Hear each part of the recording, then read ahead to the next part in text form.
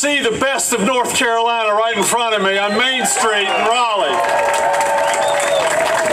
I respect you. I love you. You're entrepreneurs. You're often not respected by those from the extreme groups that are trying to take your farms away from you and your business away from you. And we're going to fight for you right here in Raleigh. We cannot let North Carolina waters become Washington, D.C. waters. These are North Carolina waters.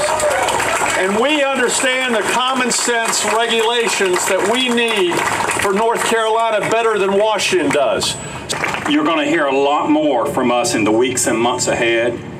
The governor, members of legislature, all of our elected officials are going to hear from us.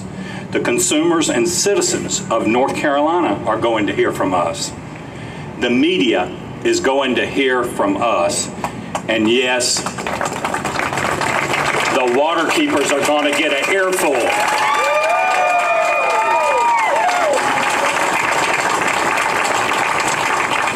Thank you so much. You're a terrific spokesperson for our industry and for our